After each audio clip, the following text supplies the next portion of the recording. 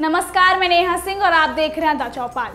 पिछले दो महीनों में दो बार दुनिया के सबसे बड़े तेल उत्पादक देश, सऊदी अरब के सरकारी तेल कंपनी अरामको पर ड्रोन हमले ने पूरी दुनिया को हैरत में डाल दिया है। अमेरिका और सऊदी अरब दोनों इसके पीछे ईरान का हाथ बता रहे हैं, लेकिन ईरान इससे इनकार कर रहा है। आरोप, प्रत्यारोपों के बीच इस हमले की ज़िम्मेदारी यमन में विद्रोहियों के गुट हुती ने ली। हुती को ईरान का न सिर्फ़ समर्थन प्राप्त है, बल्कि वो उन्हें हथियारों की सप्लाई भी करता है। ईरान और सऊदी अरब दोनों ही मुस्लिम देश हैं। दोनों के पास तेल का अकूत भंडार है। दोनों देश अमीर हैं, फिर भी ये दोनों देश लंबे समय से एक दूसरे के खिलाफ खड़े हैं। इसकी सबसे बड़ी वजह यह है कि दोनों ही देश इस्लाम के अलग अलग पंथ को मानते हैं। ईरान शिया बहुल है, जबकि सऊदी अरब सुन्नी बहुल देश है।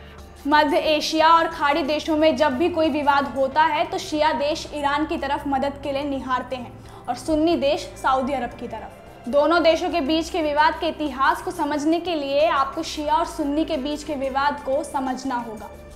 सुन्नी पैगंबर मोहम्मद के अनुयायी हैं। सुन्नी उन सभी पैगंबरों को मानते हैं जिनका ज़िक्र कुरान में किया गया है। दूसरी ओर शियाओं का दावा है कि मुस्लिमों के नेतृत्व का अधिकार शियत अली और उनके वंशजों का ही है।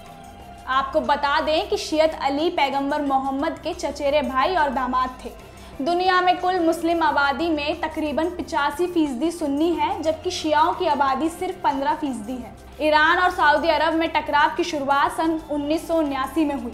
उन्नीस वो साल था जब ईरान में इस्लामिक क्रांति की शुरुआत हुई। इस क्रांति के ज़रिए ईरान में उग्र शिया इस्लामी एजेंडे की शुरुआत हुई। ईरान ने दुनिया भर में फैले शिया गुटों को समर्थन देना शुरू किया तो इसे सुन्नी सरकारों ने, खासकर खाड़ी के देशों ने, एक चुनौती के रूप में लिया और सुन्नी संगठनों को बढ़ावा देना शुरू किया। सुन्नी संगठन अक्सर शिया नेताओं को निशाना बनाने लगे और उनकी हत्या करने लगे। 2003 में जब अमेरिका ने सद्दाम हुसैन को सत्ता से हटाया तो वहाँ सऊदी अरब ने अपना प्रभुत्व बढ़ाने की कोशिश की। चूँकि इराक शिया बहुल देश है तो ईरान ने वहाँ सऊदी के हस्तक्षेप का विरोध किया। साल 2010 और 11 में कई इस्लामिक देशों में आंदोलन हुए और इस कारण राजनीतिक अस्थिरता पैदा हुई। सऊदी अरब और ईरान ने इस मौके का फ़ायदा उठाने की कोशिश की और सीरिया, इराक, यमन जैसे देश अशांत हो उठे। सीरिया ने ईरान में रूस के साथ मिलकर सऊदी अरब के समर्थन वाले गुट को हटा दिया। उसके बाद ईरान ने सुन्नी बहुल यमन में शिया गुट हुती को समर्थन देना शुरू कर दिया। जिसके बाद सऊदी अरब ने यमन में जंग छेड़ दी और इसके बाद ईरान के साथ उसका विवाद और बढ़ गया और दोनों देश युद्ध के मुहाने पर आ खड़े हुए। अमेरिका इसराइल जैसे देशों ने ईरान के खतरे को देखते हुए सऊदी अरब को समर्थन और हथियार देना शुरू किया।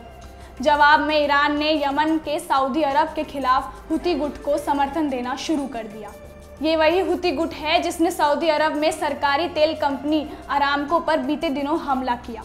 इन हमलों के बाद एक बार फिर दोनों देश युद्ध के मुहाने पर खड़े हैं। अगर दोनों देशों में युद्ध हुआ तो पूरी दुनिया पर इसका असर पड़ेगा, क्योंकि युद्ध के हालात में तेल की सप्लाई रुक जाएगी और तेल नहीं तो कुछ नहीं।